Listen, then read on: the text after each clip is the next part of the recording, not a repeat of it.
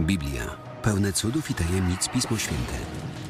Nowe naukowe odkrycia sugerują, że część opisywanych w niej wydarzeń może kryć w sobie ziarno prawdy. Czy nauka zdoła wyjaśnić największe tajemnice Biblii? Tajemnice Biblii. Zaginione Ewangelie.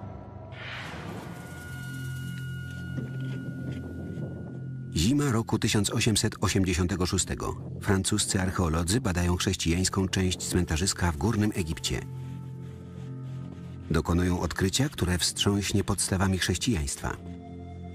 Trafiają na dawno zapomniany grób mnicha z VIII wieku.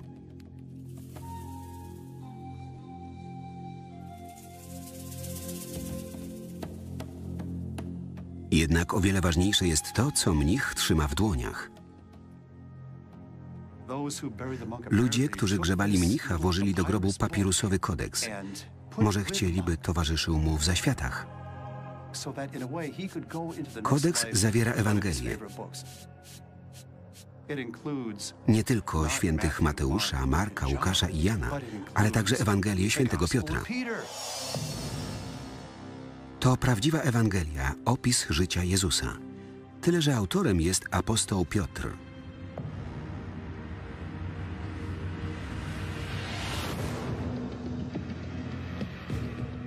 Przez prawie dwa tysiące lat wszystko, co wiedzieliśmy o Jezusie, pochodziło z Ewangelii w Nowym Testamencie, relacji Mateusza, Marka, Łukasza i Jana. Czy to może być zaginiony opis życia i dzieł Jezusa, stworzony ręką Szymona Piotra, wybranego przywódcy apostołów? Odkrycie wywołało burzę w świecie biblistów. Potem na różnych stanowiskach archeologicznych zaczęły pojawiać się kolejne nieznane Ewangelie. Ewangelia Tomasza, Ewangelia Marii Magdaleny, a nawet Ewangelia Judasza. Zawierają one zaskakujące i kontrowersyjne przesłanie o Jezusie i Jego dziele. Przesłanie, które zostało zdławione przez wczesny Kościół. Ewangelia Piotra ukazuje fakty związane ze zmartwychwstaniem Jezusa. Ewangelia Marii Magdaleny czyni ją prawdziwą przywódczynią chrześcijan. A Ewangelia Judasza wskazuje, że Jezus prosił o ukrzyżowanie.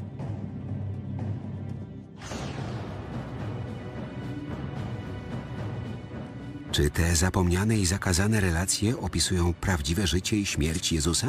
A jeśli tak, to dlaczego zaginęły? Dzięki zastosowaniu najnowszych rozwiązań naukowych, jak mikroskop elektronowy, datowanie radiowęglowe, paleografia oraz nowe metody archeologiczne, eksperci zbadają zaginione Ewangelie, by określić ich wiek, pochodzenie oraz wiarygodność.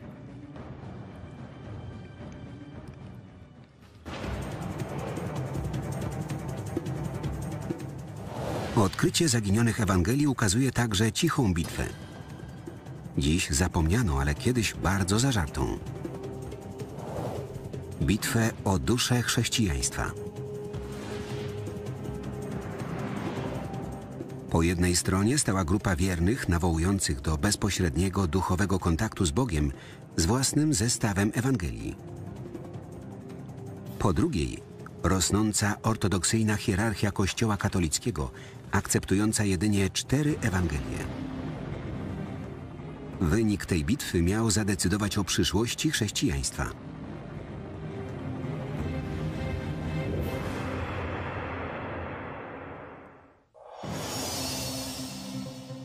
Na początku nie było Ewangelii ani Nowego Testamentu. Chrześcijaństwo pojawiło się około 30 roku naszej ery, razem z grupą Żydów, uczniów Jezusa z Nazaretu. Opowiadamy sobie historię i tak właśnie było w przypadku początków ruchu Jezusa. Ludzie, którzy go otaczali, biedni i wykluczeni, raczej nie umieli czytać ani pisać. Dlatego robili to, co wszyscy. Opowiadali. Ludzie musieli o tym rozmawiać. Znasz Jezusa? Co powiedział, kiedy go spotkałeś? Byłeś tam, kiedy szedł drogą? Pamiętasz jego słowa? Ja słyszałem to. Przypowieści Jezusa przekazywano sobie ustnie przez dziesięciolecia. Naukowcy sądzą, że pierwsza Ewangelia, Ewangelia świętego Marka, została spisana około roku 70 40 lat po śmierci Jezusa. Ale to nie była jedyna Ewangelia. W roku 200 istniały nie tylko cztery Ewangelie. Mogło ich być nawet 50. Były to m.in. Ewangelia Filipa, Ewangelia Hebrajczyków lub Objawienie Piotra. O części z nich wspominają wczesnochrześcijańscy pisarze, ale do niedawna uznawano je za zaginione. Co się z nimi stało i dlaczego dziś obowiązują jedynie cztery Ewangelie? Odpowiedź ma o wiele więcej wspólnego z polityką niż wiarą. Biblia nie spadła z nieba. Stworzyli ją chrześcijańscy teolodzy, którzy reprezentowali określony punkt widzenia.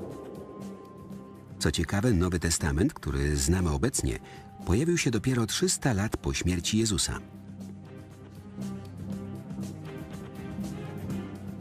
Człowiek, który zadecydował o jego zawartości, miał wielkie cele, nie do końca zbieżne z religią.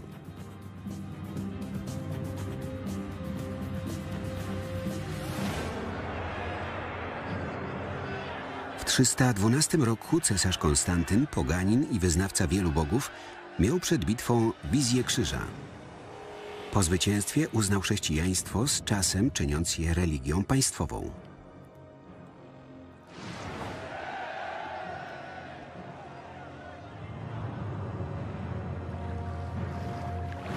Konstantyn chciał wykorzystać nową religię do ponownego zjednoczenia rozpadającego się cesarstwa rzymskiego. W tym czasie chrześcijaństwo nie było zorganizowanym ruchem. Tworzyły je liczne kościoły z różnymi poglądami i różnymi świętymi pismami. Cesarz chciał to zmienić. Zauważył, że chrześcijanie nie są zorganizowani, a Rzymianie byli przecież mistrzami organizacji. W 325 roku cesarz Konstantyn zwołał Sobór Nicejski, by określić podstawowe zasady chrześcijaństwa. Zebrał biskupów z całego ówczesnego świata, by omówić formalną legalizację religii chrześcijańskiej. Na pierwszy rzut oka widać, że najbardziej zależało mu na jedności. Chciał, by chrześcijaństwo stało się ideologicznym fundamentem imperium. Sobór Konstantyna miał dokonać zjednoczenia religijnego i politycznego. Po tygodniach debat biskupi i kapłani ustalili zasady, które ujednolicały chrześcijaństwo i oddawały je pod całkowitą kontrolę cesarza.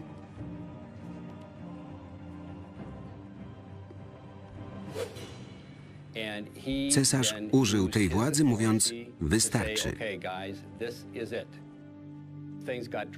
Za rządów Konstantyna wszystko zaczęło się raptownie zmieniać. Dotyczy to zwłaszcza sposobu pojmowania Boga. Bóg był teraz opiekunem państwa, które wykorzystywało religię do własnych celów i budowało na niej swoją jedność. Wśród sporów i dyskusji nie można bowiem skutecznie rządzić. Konstantyn ujednolicił także chrześcijańskie Ewangelie, wybierając jedynie te, które uznał za odpowiednie dla polityki państwa. Oficjalnie Sobor Nicejski nie określił treści Nowego Testamentu, ale Konstantyn nie pozostawił wątpliwości, które z Ewangelii uważa za wartościowe. Zamówił stworzenie 50 kopii Nowego Testamentu, który zawierał jedynie Ewangelię Mateusza, Marka, Łukasza i Jana. Co stało się z innymi Ewangeliami? W 381 roku inny sobór jednoznacznie zakazał chrześcijanom ich czytania. Pod rządami chrześcijańskiego cesarza Teodozjusza wszystkie inne Ewangelie uznano za herezję. Były zakazane i powszechnie niszczone. Ich właścicieli aresztowano, czasem nawet zabijano. Chrześcijanie czytywali te teksty od wielu lat. Lubili je i cenili. Aż nagle ich biskupi powiedzieli im, nie będziesz czytał tego, lecz będziesz czytał to. Co zawierały zaginione Ewangelie? Co czyniło je tak groźnymi, że zostały zakazane i zniszczone? Pytanie pozostawało bez odpowiedzi przez prawie 2000 lat. W 1886 roku w piaskach Egiptu znaleziono Ewangelię Piotra. W XX wieku dokonano kolejnych odkryć. Świat poznał Ewangelię Tomasza, Marii Magdaleny i Judasza. Ukazują one zupełnie inny sposób postrzegania Jezusa. Zupełnie inny rodzaj duchowości. Opisują wersję chrześcijaństwa, która kiedyś zagrażała fundamentom naszej wiary.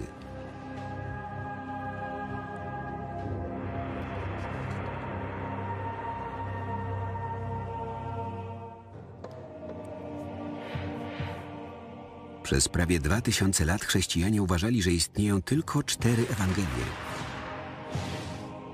opowiadające o życiu Jezusa z Nazaretu.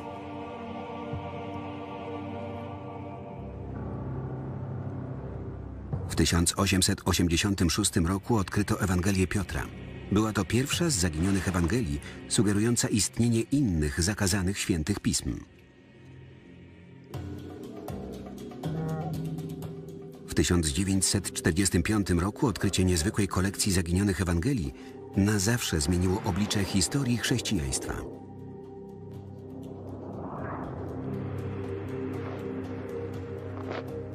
W Egipcie, nieopodal miasta Nag Hammadi, pasterze odnaleźli zapieczętowane gliniane naczynie z zawartością sprzed 1800 lat.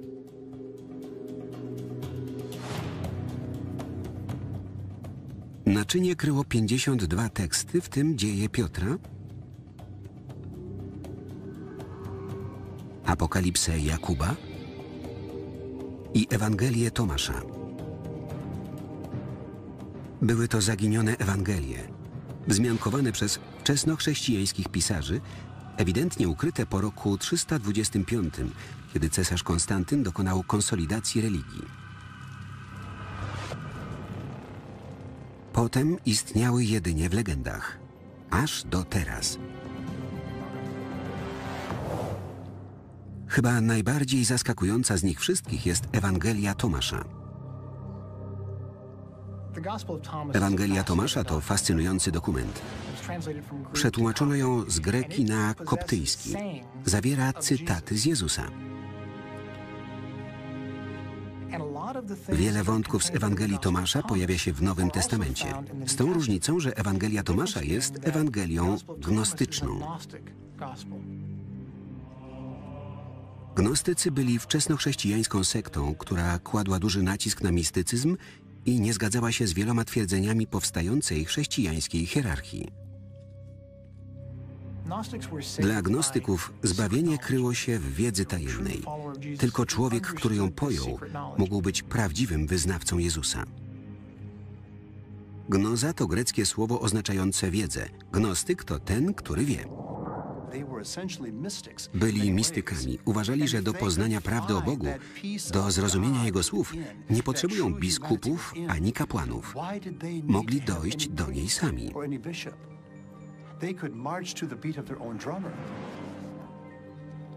Z Ewangelii Tomasza Jezus wydaje się przekazywać tajemne posłanie, zupełnie inne niż w tradycyjnych Ewangeliach. Uznane Ewangelie głoszą, że Jezus był jedynym Synem Bożym. Ewangelia Tomasza sugeruje, że wszyscy możemy stać się synami Bożymi. Mówi bowiem, skoro poznacie samych siebie, wtedy będziecie poznani i będziecie wiedzieć, że jesteście synami Ojca Żywego. Innymi słowy, jeśli Jezus może być dzieckiem Bożym, to także my możemy być synami i córkami Boga. Nie miał niczego, czego i my nie mamy.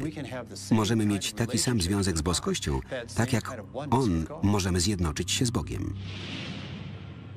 Ewangelia Tomasza mówi o osobistych związkach z Bogiem bez pośrednictwa Kościoła, biskupów i księży.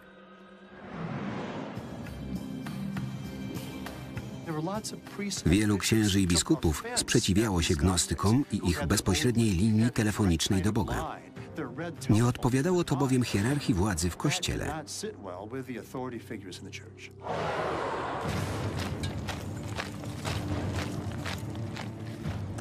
Może właśnie dlatego Ewangelię Tomasza uznano w końcu za herezję.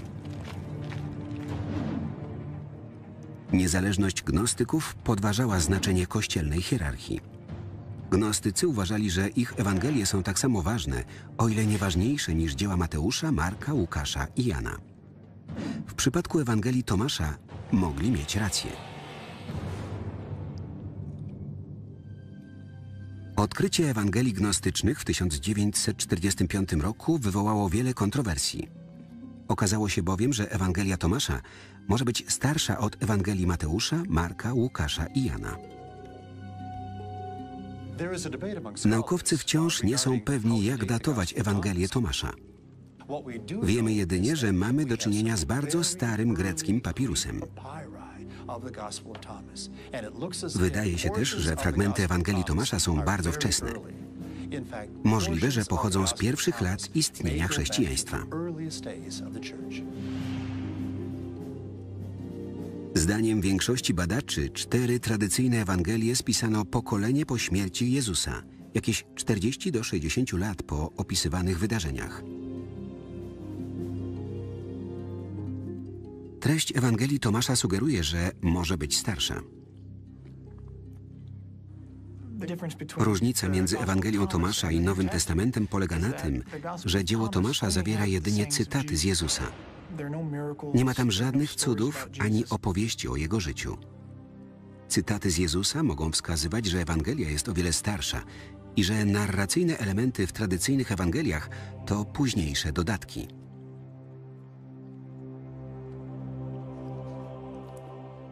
Jeśli Ewangelia Tomasza jest starsza od Ewangelii w Nowym Testamencie, to czy jest także bliższa prawdziwemu przesłaniu Jezusa?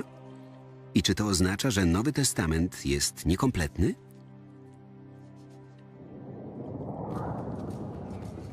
Odpowiedź kryje się być może w dacie powstania Ewangelii.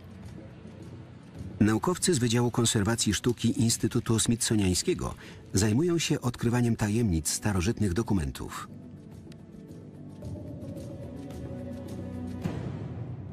Jesteśmy swoistymi detektywami.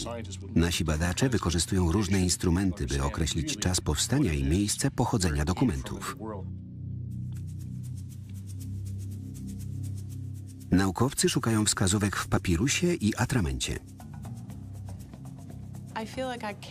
Wczuwam się w twórcę. Konserwator musi umieć cofnąć się w czasie. Patrzy na badany obiekt, ocenia jego stan i próbuje określić, co się z nim stało.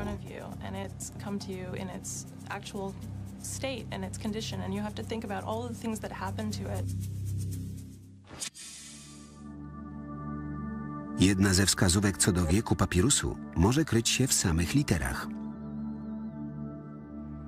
W czasie, kiedy powstała Ewangelia Tomasza, większość ludzi była niepiśmienna. Twórca Ewangelii musiał być zawodowym skrybą. Badacze poznają prawdę, badając jego styl i narzędzia pracy. Skrybowie nie byli zwykłymi pisarzami. Sami przygotowywali potrzebne sobie materiały, na przykład atrament.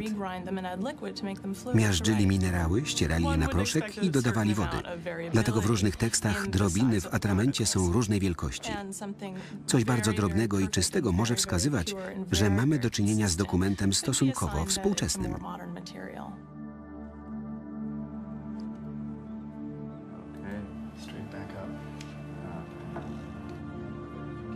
Badania Ewangelii Tomasza wykazują, że nie jest to współczesne fałszerstwo.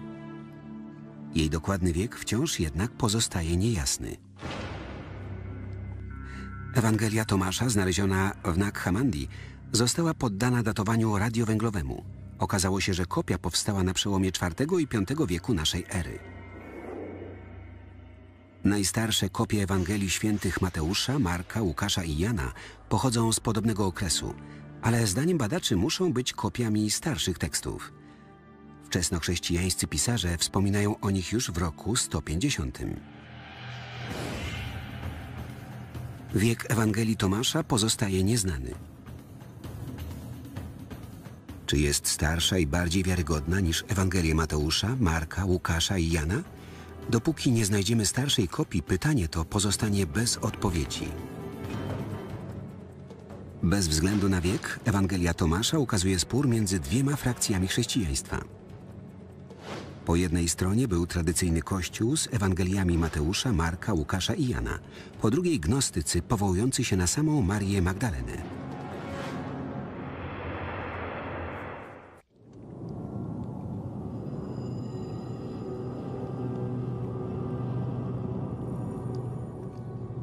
Przez wieki chrześcijanie wierzyli, że tylko cztery Ewangelie opowiadają o życiu i dokonaniach Jezusa z Nazaretu. Ten pogląd zmienił się pod koniec XIX wieku wraz z odkryciem pierwszej zaginionej Ewangelii.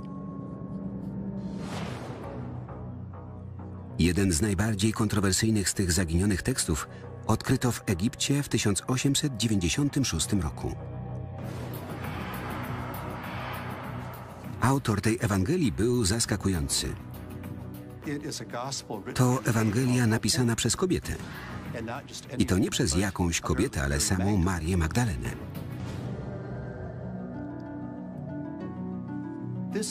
Maria Magdalena, ukochany uczeń, członek wewnętrznego kręgu.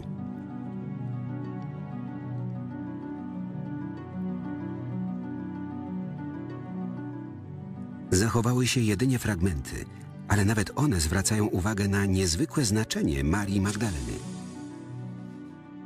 Jeśli Ewangelia Marii Magdaleny jest autentyczna, oznacza to, że we wczesnochrześcijańskim kościele kobiety cieszyły się dużym poważaniem. Co więcej, Maria Magdalena mogła nie być nawróconą prostytutką, ale przywódcą apostołów. Przez wieki chrześcijaństwo było zdominowane przez mężczyzn. Teraz okazuje się, że jedna z najważniejszych Ewangelii mogła wyjść spod ręki kobiety. Ewangelia Marii Magdaleny zawiera szczegółowe instrukcje, które Jezus powierzył tylko jej, tajemnice życia, śmierci i niebios. Jezus objawia Marii Magdalenie pewne tajemnice życia po śmierci w bardzo gnostycznym stylu. W czterech tradycyjnych Ewangeliach zaświaty to błogi raj. Według Ewangelii Marii Magdaleny śmierć to zaledwie początek podróży do nieba, w trakcie której dusza napotyka anielskie i demoniczne byty. Tajemnice wędrówki duszy Jezus powierzył tylko Marii Magdalenie.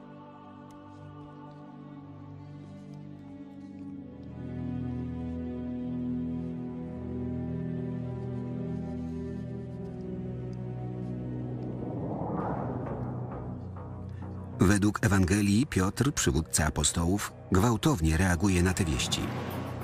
Wykrzykuje: Czy zaprawdę rozmawiał z kobietą bez naszej wiedzy? Czy mamy się do niej zwrócić i słuchać jej wszyscy? Czy stawia ją ponad nas? W Ewangelii Marii Magdaleny apostołowie odrzucają zastrzeżenia Piotra i wspierają Marię, mówiąc: Jeśli zbawiciel ją wyniósł, kimże zaiste jesteś, abyś miał ją odrzucać? Znaczenie ma pewna duchowa więź. Maria Magdalena była przywódczynią. Miała umiejętność motywowania innych. Był to jej największy dar. Rozumiała Jezusa i umiała tłumaczyć Jego słowa. Jej Ewangelia ukazuje zupełnie inny punkt widzenia na przesłanie Jezusa. Naprawdę rozumiała je tylko Maria Magdalena. Inni uczniowie nie.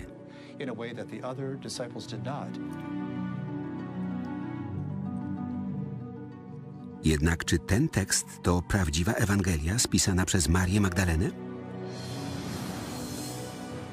Jeśli tak, może zmienić historię chrześcijaństwa i zrewolucjonizować pogląd na rolę kobiety w Kościele. Kluczem do zagadki jest wiek Ewangelii. Czy jest starsza od czterech tradycyjnych?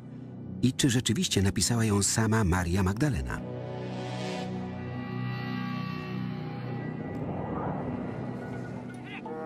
Ewangelię Marii Magdaleny odkryto w 1896 roku w Achmin w Egipcie.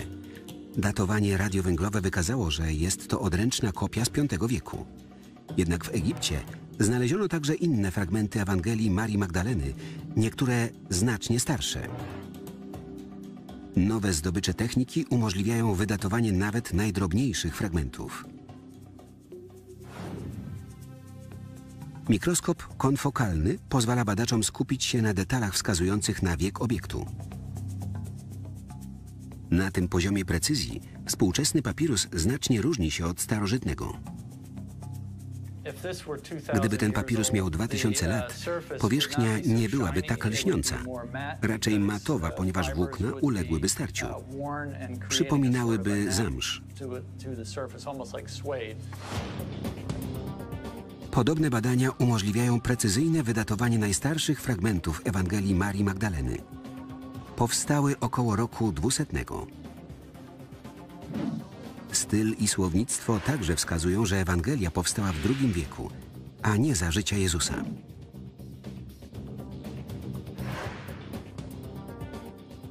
Było więc prawdopodobne, by jej autorką była Maria Magdalena. Zdaniem większości naukowców jej autorem był jakiś gnostyk, który chciał wykorzystać autorytet apostoła kobiety. Nie wiemy, kim był autor, ale tekst nosi wiele znamion kobiecego sposobu postrzegania świata. Bardzo możliwe, że to głos kobiety sprzed wieków, głos, który został stłumiony w innych Ewangeliach. Co więcej, Ewangelia Marii Magdaleny ukazuje wczesnochrześcijański spór na temat roli kobiety w Kościele. Idea przywództwa kobiety we wczesnym chrześcijaństwie jest bardzo ekscytująca, a Ewangelia Marii Magdaleny porusza ją bezpośrednio. Wiodąca rola Marii Magdaleny we wczesnym chrześcijaństwie to rewolucyjna koncepcja. Już samo istnienie Ewangelii Marii Magdaleny wskazuje, że wśród gnostyków byli ludzie, którzy opowiadali się za uznaniem kobiet za pełnoprawnych członków społeczności. Co więcej, niektórzy przedstawiciele tradycyjnej hierarchii kościelnej ostro się temu sprzeciwiali. Kobiety udzielają sakramentów?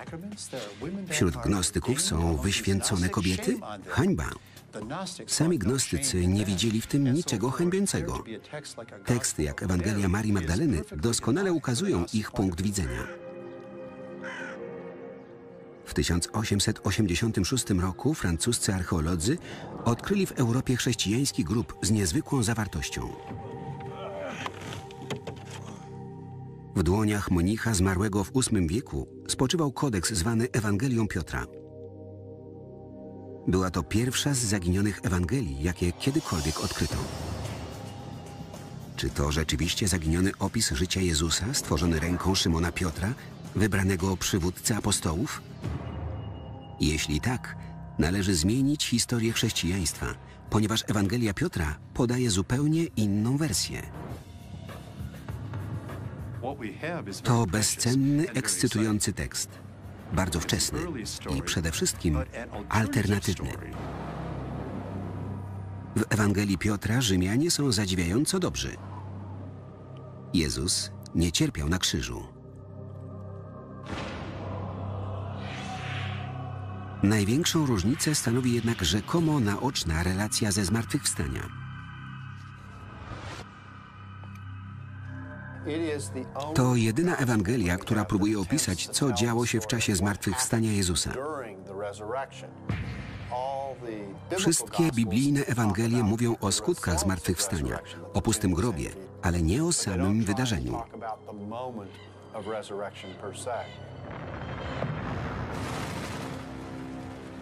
Opis zaczyna się od trzeciego dnia po śmierci Jezusa, kiedy rzymscy żołnierze strzegą grobu ukrzyżowanego Mesjasza. Ewangelia Piotra mówi, i grób się otworzył. I ujrzeli owi żołnierze, bowiem byli tam na straży.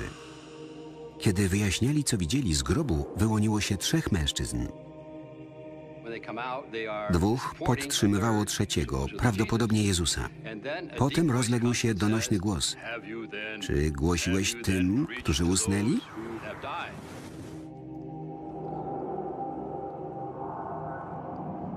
Zmartwychwstanie kończy się w niebo wstąpieniem Jezusa i dwóch mężczyzn. Świadkowie nie mogą wyjść z podziwu. Ewangelia kończy się stwierdzeniem, że jest to naoczna relacja Piotra Apostoła. Czy Ewangelia rzeczywiście może być dziełem pierwszego papieża? Czy napisano ją w tym samym czasie co cztery tradycyjne Ewangelie, czy wcześniej?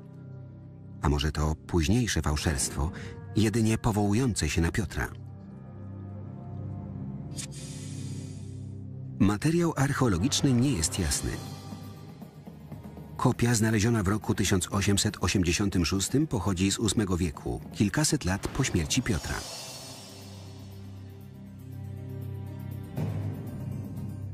Fragmenty znalezione na innych stanowiskach powstały w V wieku, więc także zbyt późno. To dopiero układanka. Dzięki Bogu, że nie ja będę to składał. O Ewangelii wspominali jednak wczesnochrześcijańscy pisarze. Jeden z biskupów z terenu obecnej Turcji wymienił ją z tytułu już w roku 190. Tutaj ślad się urywa. Najprawdopodobniej to tekst z początków II wieku. Dowodem może być chociażby fakt, że wykorzystuje wątki z czterech tradycyjnych Ewangelii. Przypowieści w Ewangelii Piotra tak bardzo przypominają inne Ewangelie, że wydają się zwykłym naśladownictwem. Ktokolwiek napisał tę Ewangelię w II wieku, twierdził, że jest to dzieło apostoła Piotra. W starożytności było to bardzo powszechne. Kiedy ktoś chciał przekazać innym coś, co uważał za ważne dla wczesnego chrześcijaństwa, nie mówił od siebie, a podszywał się pod jakiś znany autorytet. Jeśli Ewangelia Piotra jest zwykłym fałszerstwem, pojawia się inne, równie intrygujące pytanie.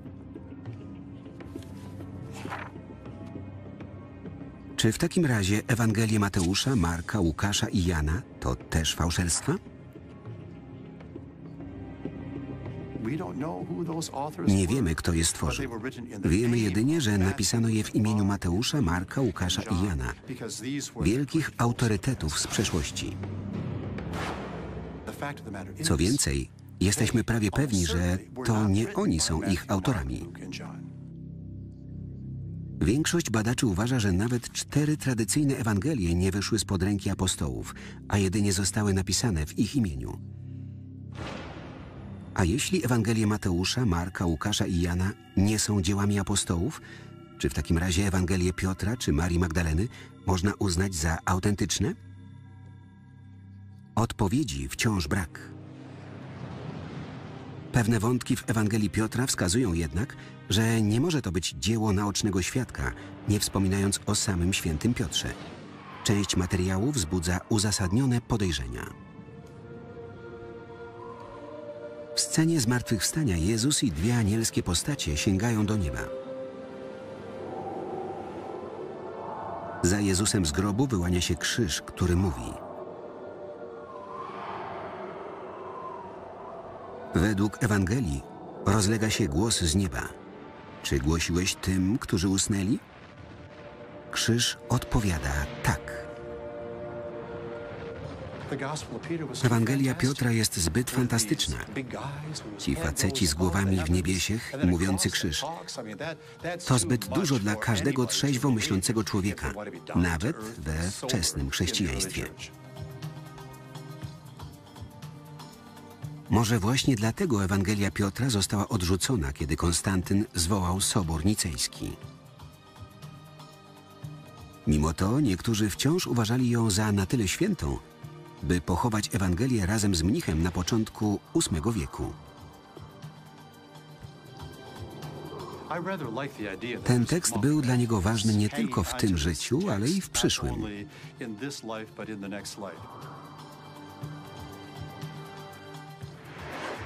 Ewangelię Piotra odkryto w 1886 roku jako pierwszą z zaginionych Ewangelii. W 2006 roku odkryto inną, o wiele bardziej kontrowersyjną. Rzekomo napisał ją bowiem zdrajca Jezusa Judasz. To tak zwana Ewangelia Judasza.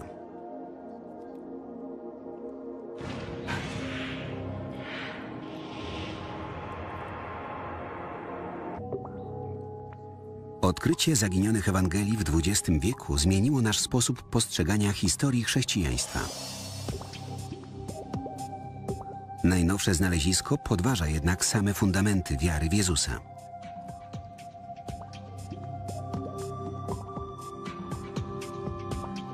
W roku 2000 w egipskim sklepie z antykami znaleziono pewien papirus.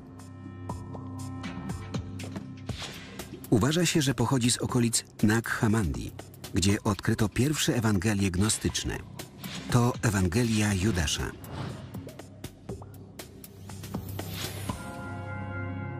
Judasza Iskarioty.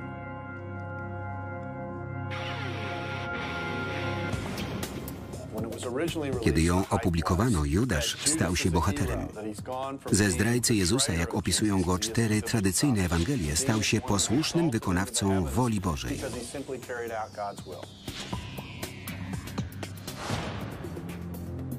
W tradycyjnej wersji ukrzyżowania Judasz wydaje Jezusa Rzymianom, jest więc złoczyńcą. W tej Ewangelii zdrada jest w rzeczywistości olbrzymim osobistym poświęceniem. Jezus uważa Judasza za najmądrzejszego z apostołów. Wszystko rozgrywa się między Jezusem a Judaszem. Judasz był wyjątkowym uczniem. To on doznał oświecenia. To on najlepiej rozumie prawdziwą istotę Jezusa. Jezus mówi, że Judasz wyda Rzymianom jedynie jego cielesną powłokę. On sam uniknie ukrzyżowania i powróci do krainy ducha. To wyraźna wskazówka, że Ewangelia ma gnostyckie korzenie. Gnostycy uważali, że Jezus nie był człowiekiem, że tylko tak wyglądał. W rzeczywistości był duchem. A celem gnostyków było pozbycie się fizycznych ograniczeń, pozbycie się elementu ludzkiego i w ten sposób poznanie prawdziwej istoty duszy. To niezwykłe odwrócenie tradycyjnego chrześcijańskiego poglądu. Ewangelia wzbudzała kontrowersje od chwili publikacji w roku 2006. Jeśli jest autentyczna i wyszła spod ręki Judasza, podważa fundamenty chrześcijańskiej historii i teologii. Zdaniem wielu badaczy Ewangelia Judasza jest jednak fałszerstwem. Ewangelia Judasza jest tak prowokująca, że wielu ludzi zaczęło się zastanawiać, czy nie jest fałszywa. Teoretycznie ktoś z demonicznym poczuciem humoru mógłby kupić stary papirus, nanieść na niego tekst, a potem śmiać się z całego świata.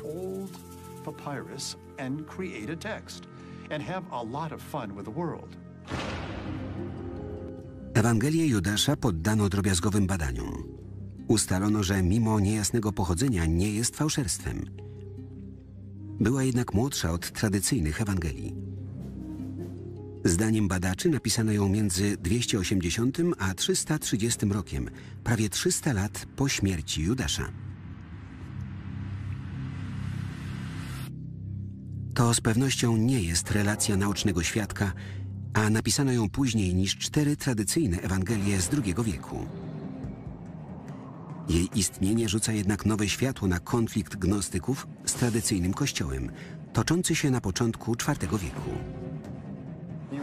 Ktoś napisał Ewangelię i przypisał ją Judaszowi, ponieważ chciał, by ludzie inaczej postrzegali postaci z Biblii. Chciał zmienić zasady gry, wywrócić wszystko do góry nogami. Jeśli bowiem uznamy, że apostołowie byli gorsi, a Judasz najlepszy, dokonujemy całkowitej rekonfiguracji świata religii. Ewangelia Judasza ostro krytykuje Kościół, który wyrósł z nauk apostołów.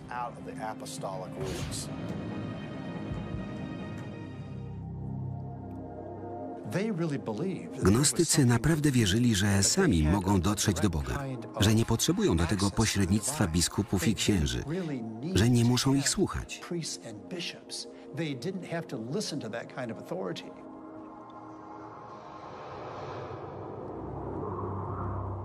Mistycyzm i wiara w bezpośrednie relacje z Bogiem doprowadziły jednak do upadku gnostycyzmu. Zamiast budować społeczność i zdobywać wyznawców, gnostycki krąg wybranych zaczął tracić na znaczeniu. W tym samym czasie rozwijająca się hierarchia kościelna zwróciła na siebie uwagę rzymskich władz. W roku 325 Sobor Nicejski i cesarz Konstantyn stworzyli fundamenty władzy biskupów tradycyjnego kościoła.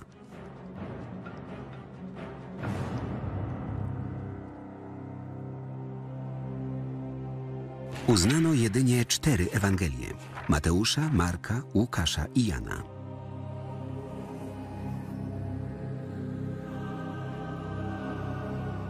Ewangelie gnostyczne odrzucono. Przynajmniej oficjalnie. Trzeba pamiętać, że choć nie umieszczono ich w Nowym Testamencie, ludzie nadal je czytali i fascynowali się nimi przez wiele, wiele lat. A co historyczna ewolucja Nowego Testamentu mówi o wiarygodności zaginionych Ewangelii? Badania zaginionych Ewangelii były fascynujące. Pomogły nam zrozumieć kulturowe naciski, jakim ulegało wczesne chrześcijaństwo. Wyobraźmy sobie, co by było, gdyby na Soborze Nicejskim przeważyła perspektywa gnostyczna. Moim zdaniem chrześcijaństwo byłoby bardziej mistyczne, bardziej skupione na poszukiwaniu prawdziwej istoty bycia wyznawcą Jezusa. Kościół byłby zupełnie inny, z innymi cechami i zupełnie innym przesłaniem.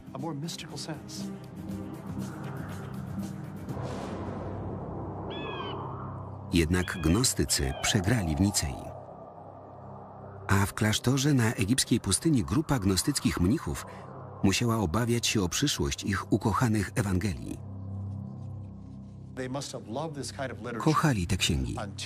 W końcu jednak biskup Atanazy z Aleksandrii ogłosił: Czas wyrzucić wszystkie heretyckie dzieła i czytać tylko księgi z kanonu biblijnego. Mnisi zabrali Ewangelię z biblioteki w Nag Hammadi, ale nie mieli serca ich zniszczyć.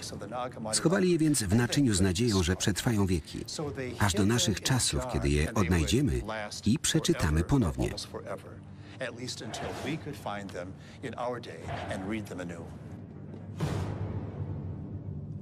Przez tysiąclecia Biblia z czterema Ewangeliami Nowego Testamentu była uważana za jedyną prawdziwą relację z życia Jezusa. Niektórzy sądzą, że zaginione Ewangelie ukazują drogę, której chrześcijaństwo nie obrało. Jeszcze inni sądzą, że stało się tak z określonych powodów. Jest takie powiedzenie, że historię piszą zwycięzcy. Teraz to przegrani odzyskali głos i bez wątpienia jest on bardzo ważny. Jednak z drugiej strony należałoby dodać, że czasem zwycięzcy zasługują na zwycięstwo. Wieki po tym, jak ukryto je wśród piasków pustyni, zaginione Ewangelie wciąż wzbudzają kontrowersje. Być może to właśnie jest świadectwem potęgi słowa pisanego, przekazującego wiarę, nadzieję i tajemnicę przez stulecia, aż po krańce ziemi?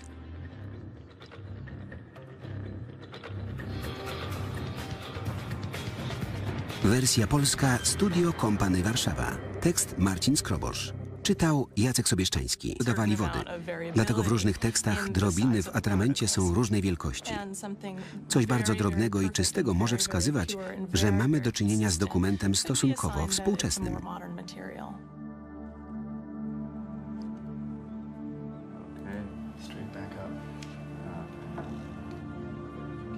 Badania Ewangelii Tomasza wykazują, że nie jest to współczesne fałszerstwo. Jej dokładny wiek wciąż jednak pozostaje niejasny. Ewangelia Tomasza, znaleziona w Nag Hammadi, została poddana datowaniu radiowęglowemu. Okazało się, że kopia powstała na przełomie IV i V wieku naszej ery. Najstarsze kopie Ewangelii świętych Mateusza, Marka, Łukasza i Jana pochodzą z podobnego okresu, ale zdaniem badaczy muszą być kopiami starszych tekstów. Wczesnochrześcijańscy pisarze wspominają o nich już w roku 150. Wiek Ewangelii Tomasza pozostaje nieznany. Czy jest starsza i bardziej wiarygodna niż Ewangelie Mateusza, Marka, Łukasza i Jana? Dopóki nie znajdziemy starszej kopii, pytanie to pozostanie bez odpowiedzi.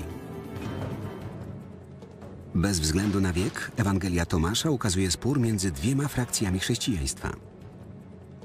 Po jednej stronie był tradycyjny kościół z Ewangeliami Mateusza, Marka, Łukasza i Jana. Po drugiej gnostycy powołujący się na samą Marię Magdalenę.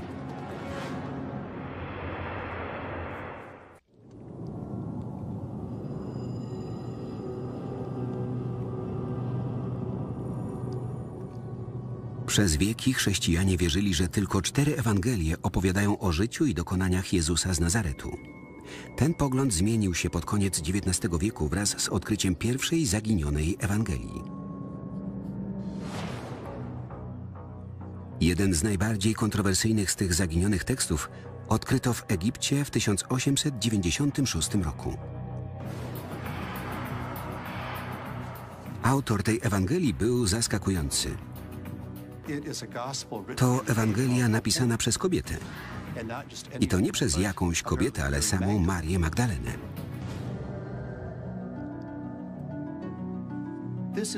Maria Magdalena, ukochany uczeń, członek wewnętrznego kręgu.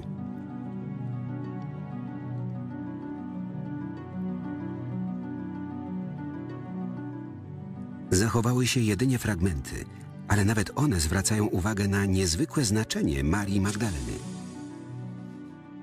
Jeśli Ewangelia Marii Magdaleny jest autentyczna, oznacza to, że we wczesnochrześcijańskim kościele kobiety cieszyły się dużym poważaniem.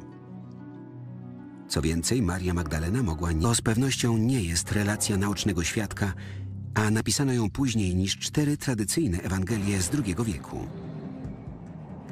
Jej istnienie rzuca jednak nowe światło na konflikt gnostyków z tradycyjnym kościołem, toczący się na początku IV wieku. Ktoś napisał Ewangelię i przypisał ją Judaszowi, ponieważ chciał, by ludzie inaczej postrzegali postaci z Biblii. Chciał zmienić zasady gry, wywrócić wszystko do góry nogami. Jeśli bowiem uznamy, że apostołowie byli gorsi, a Judasz najlepszy, dokonujemy całkowitej rekonfiguracji świata religii. Ewangelia Judasza ostro krytykuje Kościół, który wyrósł z nauk apostołów.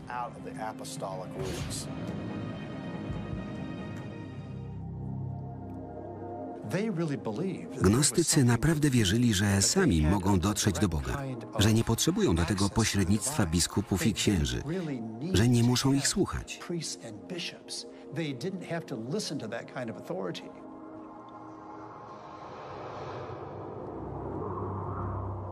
Mistycyzm i wiara w bezpośrednie relacje z Bogiem doprowadziły jednak do upadku gnostycyzmu. Zamiast budować społeczność i zdobywać wyznawców, gnostycki krąg wybranych zaczął tracić na znaczeniu. W tym samym czasie rozwijająca się hierarchia kościelna zwróciła na siebie uwagę rzymskich władz. W roku 325 Sobor Nicejski i cesarz Konstantyn stworzyli fundamenty władzy biskupów tradycyjnego kościoła.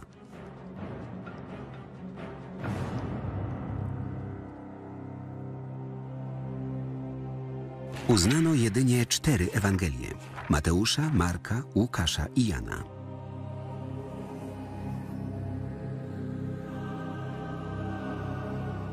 Ewangelie gnostyczne odrzucono. Przynajmniej oficjalnie. Trzeba pamiętać, że choć nie umieszczono ich w Nowym Testamencie, ludzie nadal je czytali i fascynowali się nimi przez wiele, wiele lat. A co historyczna ewolucja Nowego Testamentu mówi o wiarygodności zaginionych Ewangelii? Badania zaginionych Ewangelii były fascynujące. Pomogły nam zrozumieć kulturowe naciski, jakim ulegało wczesne chrześcijaństwo. Wyobraźmy sobie, co by było, gdyby na Soborze Nicejskim przeważyła perspektywa gnostyczna. Moim zdaniem chrześcijaństwo byłoby bardziej mistyczne, bardziej skupione na poszukiwaniu prawdziwej istoty bycia wyznawcą Jezusa. Kościół byłby zupełnie inny, z innymi cechami i zupełnie innym przesłaniem. To jedyna Ewangelia, która próbuje opisać, co działo się w czasie zmartwychwstania Jezusa. Wszystkie biblijne Ewangelie mówią o skutkach zmartwychwstania, o pustym grobie, ale nie o samym wydarzeniu.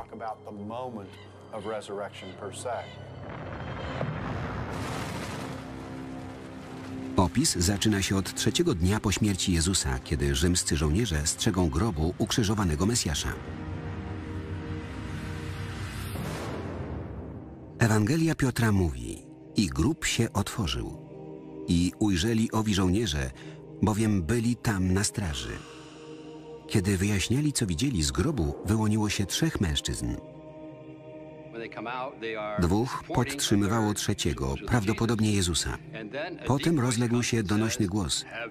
Czy głosiłeś tym, którzy usnęli?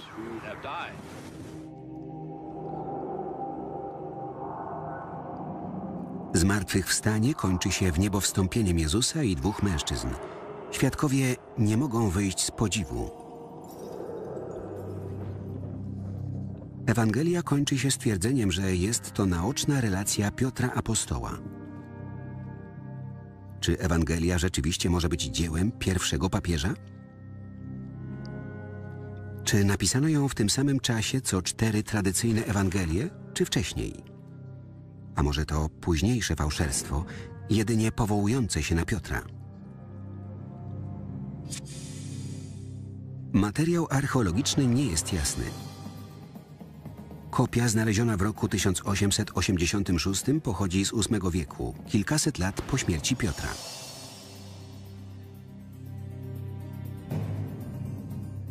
Fragmenty znalezione na innych stanowiskach powstały w V wieku, więc także zbyt późno.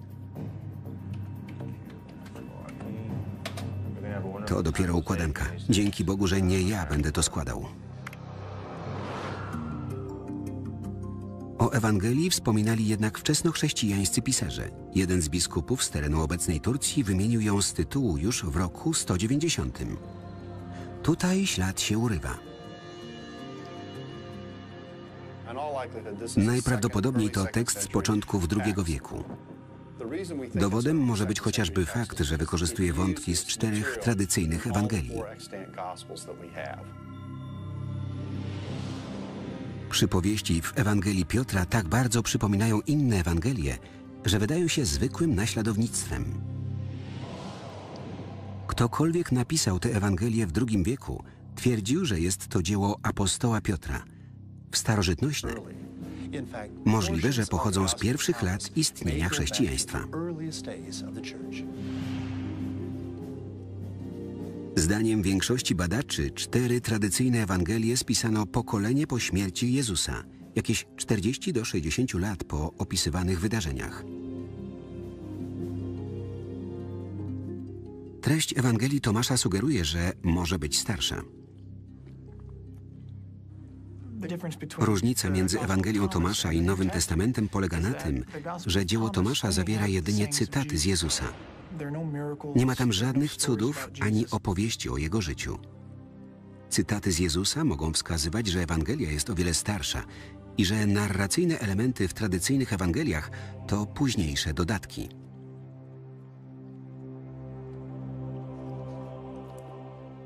Jeśli Ewangelia Tomasza jest starsza od Ewangelii w Nowym Testamencie, to czy jest także bliższa prawdziwemu przesłaniu Jezusa? I czy to oznacza, że Nowy Testament jest niekompletny?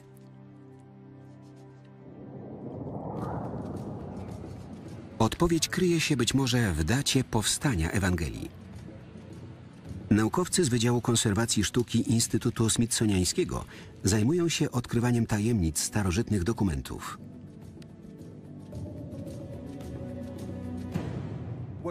Jesteśmy swoistymi detektywami. Nasi badacze wykorzystują różne instrumenty, by określić czas powstania i miejsce pochodzenia dokumentów.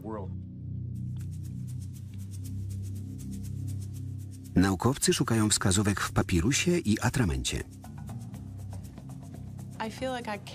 Wczuwam się w twórcę. Konserwator musi umieć cofnąć się w czasie.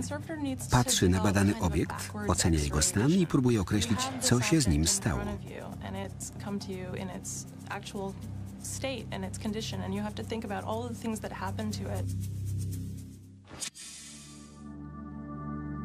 Jedna ze wskazówek co do wieku papirusu może kryć się w samych literach. W czasie, kiedy powstała Ewangelia Tomasza, większość ludzi była niepiśmienna. Twórca Ewangelii musiał być zawodowym skrybą.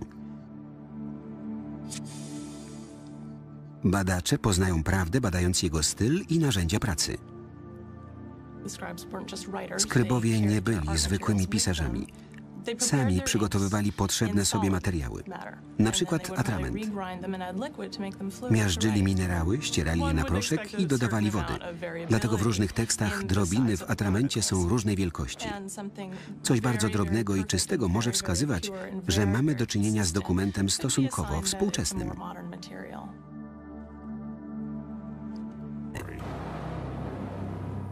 W Ewangelii Piotra Rzymianie są zadziwiająco dobrzy. Jezus nie cierpiał na krzyżu. Największą różnicę stanowi jednak rzekomo naoczna relacja ze zmartwychwstania.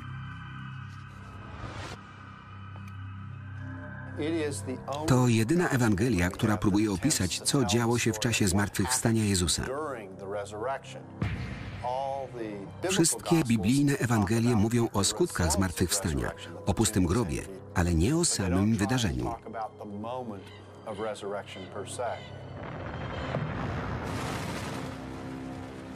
Opis zaczyna się od trzeciego dnia po śmierci Jezusa, kiedy rzymscy żołnierze strzegą grobu ukrzyżowanego Mesjasza.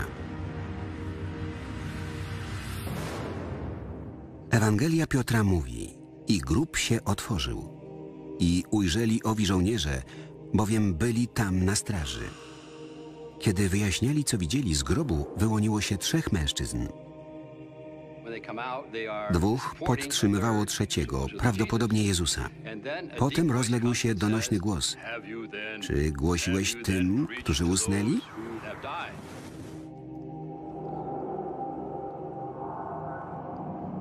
Zmartwychwstanie kończy się w niebo wstąpieniem Jezusa i dwóch mężczyzn. Świadkowie nie mogą wyjść z podziwu. Ewangelia kończy się stwierdzeniem, że jest to naoczna relacja Piotra Apostoła.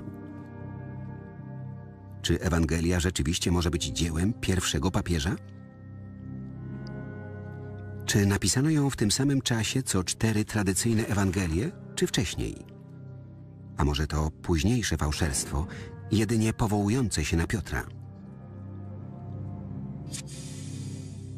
Materiał archeologiczny nie jest jasny.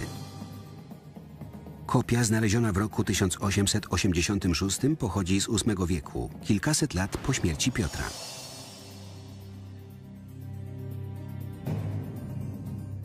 Fragmenty znalezione na innych stanowiskach powstały w V wieku, więc także zbyt późno. To dopiero układanka. Dzięki Bogu, że nie ja będę to składał. O Ewangelii wspominali jednak wczesnochrześcijańscy pisarze. Jeden z biskupów z terenu obecnej Turcji wymienił ją z tytułu już w roku 190. Tutaj ślad się urywa. Najprawdopodobniej to tekst z początków II wieku. Dowodem może być chociażby fakt, że wykorzystuje wątki z czterech tradycyjnych Ewangelii. Tyl i narzędzia pracy. Skrybowie nie byli zwykłymi pisarzami. Sami przygotowywali potrzebne sobie materiały, na przykład atrament. Miażdżyli minerały, ścierali je na proszek i dodawali wody. Dlatego w różnych tekstach drobiny w atramencie są różnej wielkości. Coś bardzo drobnego i czystego może wskazywać, że mamy do czynienia z dokumentem stosunkowo współczesnym.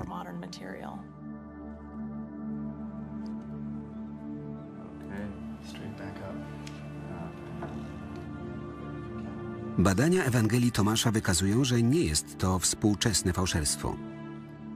Jej dokładny wiek wciąż jednak pozostaje niejasny. Ewangelia Tomasza, znaleziona w Nag Hammadi, została poddana datowaniu radiowęglowemu. Okazało się, że kopia powstała na przełomie IV i V wieku naszej ery. Najstarsze kopie Ewangelii świętych Mateusza, Marka, Łukasza i Jana pochodzą z podobnego okresu – ale zdaniem badaczy muszą być kopiami starszych tekstów. Wczesnochrześcijańscy pisarze wspominają o nich już w roku 150. Wiek Ewangelii Tomasza pozostaje nieznany. Czy jest starsza i bardziej wiarygodna niż Ewangelie Mateusza, Marka, Łukasza i Jana? Dopóki nie znajdziemy starszej kopii, pytanie to pozostanie bez odpowiedzi.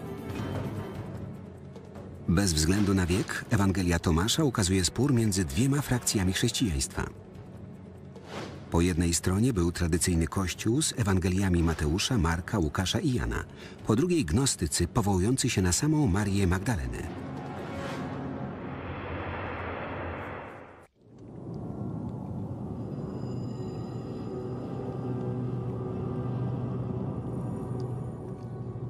Przez wieki chrześcijanie wierzyli, że tylko cztery Ewangelie opowiadają o życiu i dokonaniach Jezusa z Nazaretu. Ten pogląd zmienił się pod koniec XIX wieku wraz z odkryciem pierwszej zaginionej Ewangelii. Jeden z najbardziej kontrowersyjnych z tych zaginionych tekstów odkryto w Egipcie w 1896 roku. Autor tej Ewangelii był zaskakujący. To Ewangelia napisana przez kobietę. I to nie przez jakąś kobietę, ale samą Marię Magdalenę.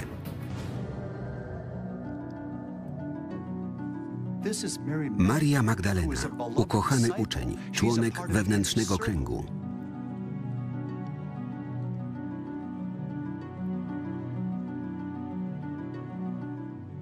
Zachowały się jedynie fragmenty, ale nawet one zwracają uwagę na niezwykłe.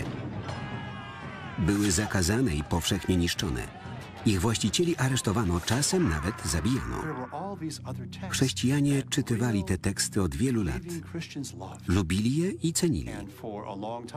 Aż nagle ich biskupi powiedzieli im, nie będziesz czytał tego, lecz będziesz czytał to.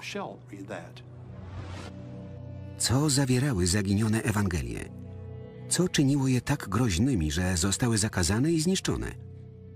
Pytanie pozostawało bez odpowiedzi przez prawie 2000 lat. W 1886 roku w piaskach Egiptu znaleziono Ewangelię Piotra. W XX wieku dokonano kolejnych odkryć. Świat poznał Ewangelię Tomasza, Marii Magdaleny i Judasza. Ukazują one zupełnie inny sposób postrzegania Jezusa.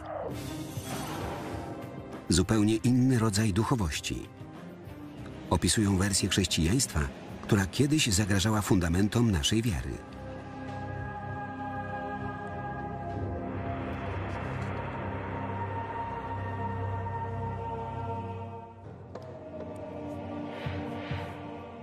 Przez prawie dwa tysiące lat chrześcijanie uważali, że istnieją tylko cztery Ewangelie opowiadające o życiu Jezusa z Nazaretu.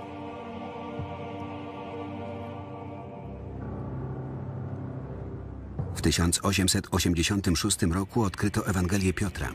Była to pierwsza z zaginionych Ewangelii, sugerująca istnienie innych zakazanych świętych pism.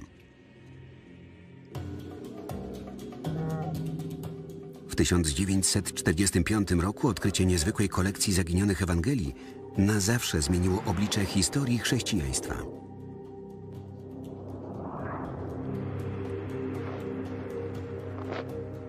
Egipcie, nieopodal miasta Nag Hammadi, pasterze odnaleźli zapieczętowane gliniane naczynie z zawartością sprzed 1800 lat.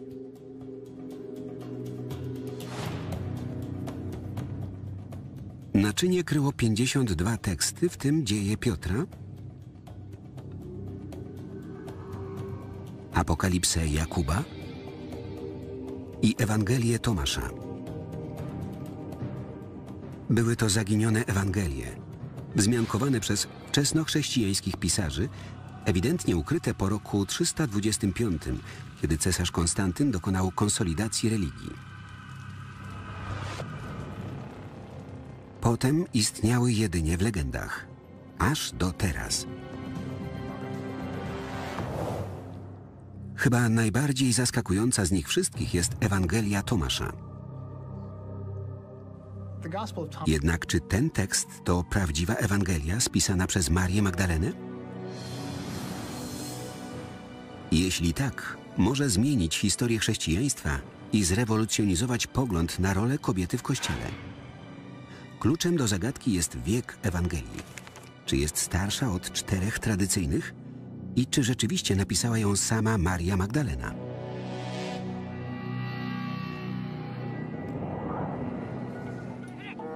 Ewangelię Marii Magdaleny odkryto w 1896 roku w Achmin w Egipcie. Datowanie radiowęglowe wykazało, że jest to odręczna kopia z V wieku. Jednak w Egipcie znaleziono także inne fragmenty Ewangelii Marii Magdaleny, niektóre znacznie starsze. Nowe zdobycze techniki umożliwiają wydatowanie nawet najdrobniejszych fragmentów.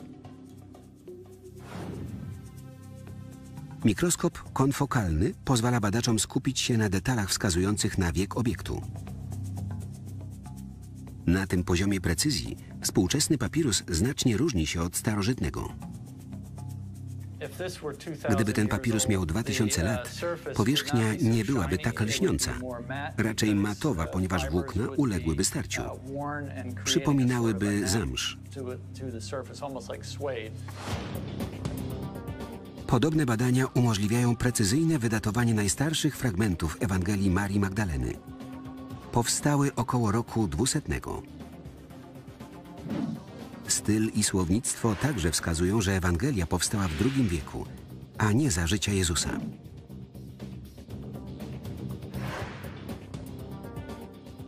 Było więc prawdopodobne, by jej autorką była Maria Magdalena. Zdaniem większości naukowców jej autorem był jakiś gnostyk, który chciał wykorzystać autorytet apostoła kobiety. Nie wiemy, kim był autor, ale tekst nosi wiele znamion kobiecego sposobu postrzegania świata. Bardzo możliwe, że to głos kobiety sprzed wieków, głos, który został stłumiony w innych Ewangeliach. Co więcej, Ewangelia Marii Magdaleny ukazuje wczesnochrześcijański spór na temat roli kobiety w Kościele. Idea przywództwa kobiety we wczesnym chrześcijaństwie jest bardzo ekscytująca, a Ewangelia Marii Magdaleny porusza ją bezpośrednio. Wiodąca rola Marii Magdaleny we wczesnym chrześcijaństwie to rewolucyjna koncepcja. Już samo istnienie Ewangelii Marii Magdaleny wskazuje, że wśród gnostyków byli ludzie, którzy opowiadali się za uznaniem kobiet za pełnoprawnych członków społeczności. Co więcej, niektórzy przedstawiciele tradycyjnej hierarchii wśród sporów i dyskusji nie można bowiem skutecznie rządzić. Konstantyn ujednolicił także chrześcijańskie Ewangelie, wybierając jedynie te, które uznał za odpowiednie dla polityki państwa. Oficjalnie Sobor Nicejski nie określił treści Nowego Testamentu, ale Konstantyn nie pozostawił wątpliwości, które z Ewangelii uważa za wartościowe. Zamówił stworzenie 50 kopii Nowego Testamentu, który zawierał jedynie Ewangelię Mateusza, Marka, Łukasza i Jana. Co stało się z innymi Ewangeliami? W 381 roku inny sobór jednoznacznie zakazał chrześcijanom ich czytania. Pod rządami chrześcijańskiego cesarza Teodozjusza wszystkie inne Ewangelie uznano za herezję. Były zakazane i powszechnie niszczone. Ich właścicieli aresztowano, czasem nawet zabijano. Chrześcijanie czytywali te teksty od wielu lat. Lubili je i cenili. Aż nagle ich biskupi powiedzieli im, nie będziesz czytał tego, lecz będziesz czytał to. Co zawierały zaginione Ewangelie? Co czyniło je tak groźnymi, że zostały zakazane i zniszczone? Pytanie pozostawało bez odpowiedzi przez prawie 2000 lat. W 1886 roku w piaskach Egiptu znaleziono Ewangelię Piotra. W XX wieku dokonano kolejnych odkryć. Świat poznał Ewangelię Tomasza, Marii Magdaleny i Judasza. Ukazują one zupełnie inny sposób postrzegania Jezusa. Zupełnie inny rodzaj duchowości opisują wersję chrześcijaństwa, która kiedyś zagrażała fundamentom naszej wiary.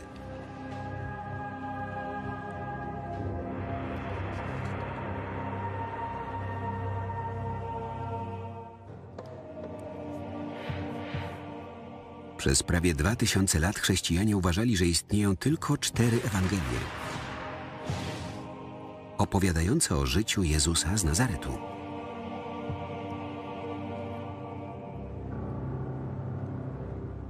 1886 roku odkryto Ewangelię Piotra. Była to pierwsza z zaginionych Ewangelii, sugerująca istnienie innych zakazanych świętych pism. W 1945 roku odkrycie niezwykłej kolekcji zaginionych Ewangelii na zawsze zmieniło oblicze historii chrześcijaństwa.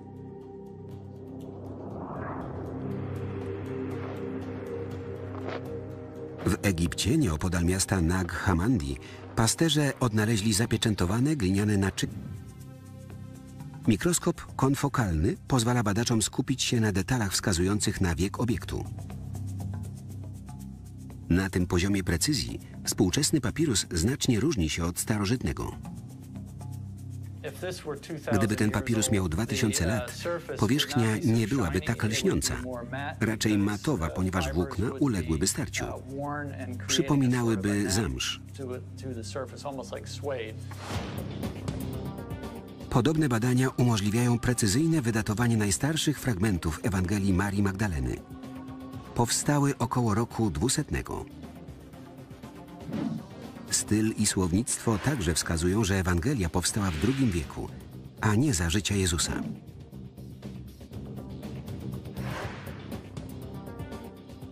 Było więc prawdopodobne, by jej autorką była Maria Magdalena. Zdaniem większości naukowców jej autorem był jakiś gnostyk, który chciał wykorzystać autorytet apostoła kobiety.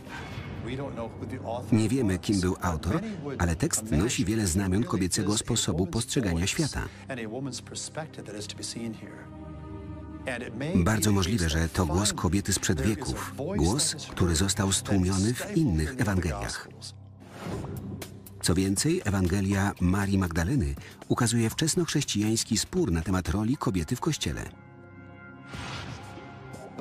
Idea przywództwa kobiety we wczesnym chrześcijaństwie jest bardzo ekscytująca, a Ewangelia Marii Magdaleny porusza ją bezpośrednio. Wiodąca rola Marii Magdaleny we wczesnym chrześcijaństwie to rewolucyjna koncepcja. Już samo istnienie Ewangelii Marii Magdaleny wskazuje, że wśród gnostyków byli ludzie, którzy opowiadali się za uznaniem kobiet za pełnoprawnych członków społeczności. Co więcej, niektórzy przedstawiciele tradycyjnej hierarchii kościelnej ostro się temu sprzeciwiali. Kobiety udzielają sakramentów? Wśród gnostyków są wyświęcone kobiety? Hańba! Sami gnostycy nie widzieli w tym niczego hańbiącego. Teksty jak Ewangelia Marii Magdaleny doskonale ukazują ich punkt widzenia.